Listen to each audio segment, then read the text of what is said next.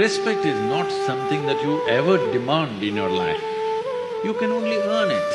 It doesn't matter whether it's parents or teachers or spiritual teachers, political leaders or God himself came down and he said something stupid. You must be able to question him. When you have such a responsibility, you have to ensure that truth is the only authority. Authority is not the truth.